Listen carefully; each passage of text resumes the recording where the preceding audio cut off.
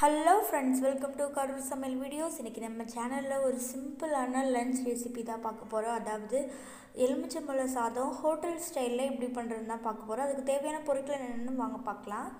ஒரு எலுமிச்சம்பழம் எடுத்து அதில் இருக்க சாரை பிழிஞ்சு எடுத்து வச்சுருக்கேன். அதுக்கப்புறம் பார்த்திங்கன்னா தேவையான அளவு ஆயில் அப்புறம் ரெண்டு வரமிளகாய் எடுத்து கட் பண்ணி வச்சுருக்கேன். தேவையான அளவு மஞ்சத்தூள் தேவையான அளவு கறிவேப்பிலை அப்புறம் உப்பு நமக்கு தேவையான அளவுக்கு ஆட் பண்ணிக்கலாம். அப்புறம் ரெண்டு பல் பூண்டு வந்து நான் ஸ்லைஸ் பண்ணி வச்சுருக்கேன். அப்புறம் ஒரு பெரிய வெங்காயம் நல்லா சின்னதாக பார்த்து கட் பண்ணி வச்சுருக்கேன்.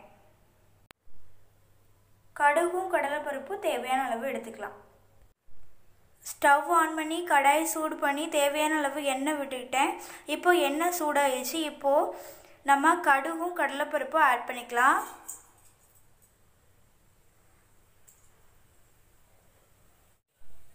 கருவேப்பிலை ஆட் பண்ணிக்கலாம். மிளகா ஆட் பண்ணிக்கலாம். மிளகா ஆட் பண்ணி கொஞ்சம் நேரம் பொரிய விடுங்க. இந்த டைமில் ஸ்லைஸ் பண்ணி வச்சுருக்க பூண்டு ஆட் பண்ணிக்கலாம். வெங்காயம் ஆட் பண்ணிக்கலாம். வெங்காயம் ஆட் பண்ணியாச்சு. வெங்காயம் ஆட் பண்ணி நல்லா வதக்கி விடுங்க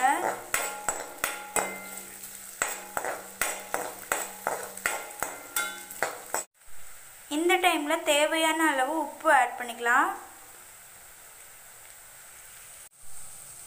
அப்புறம் மஞ்சத்தூள் ஆட் பண்ணிக்கலாம்.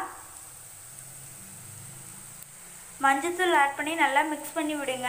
இந்த டைமில் நம்ம எடுத்து வச்சுருக்க எலுமிச்சை சாறு ஆட் பண்ணிக்கலாம். ஆட் பண்ணி கொஞ்ச நேரம் நல்லா கொதிக்க விடுங்க. எலுமிச்சை சாறு வந்து இப்போ ரெடி ஆகிடுச்சு எலுமிச்சை பழம் சாதம் கிண்டுறதுக்கு இப்போ வந்து நம்ம ரைஸ் கூட இதை ஊற்றி நல்லா கிளறி விட்டுக்கிட்டே இருந்தோம்னா எலுமிச்சம்பழ சாதம் ரெடி ஆகிடும் எலுமிச்சம்பழம் சாதத்துக்கு தேவையான ரைஸ் வந்து நான் குக்கரில் வச்சு எடுத்து வச்சுருக்கேன். இந்த ரைஸில் ஒரு ரெண்டு ஸ்பூன் நல்லெண்ணெய் ஊற்றி நல்லா கிளறி விட்டு எடுத்து வச்சுக்கோங்க. இப்போதைக்கு அந்த எலுமிச்சம்பழம் சாறை வந்து கொஞ்சம் கொஞ்சமாக ஊற்றி நல்லா கிளறிட்டோம்னா எலுமிச்சம்பழம் சாதம் ரெடி ஆகிடும் இந்த வீடியோ உங்களுக்கு பிடிச்சிருந்துச்சுன்னா எங்கள் சேனலை சப்ஸ்கிரைப் பண்ணுங்கள் மறக்காமல் கூட இருக்க பெல் ஐக்கானை கிளிக் பண்ணுங்கள்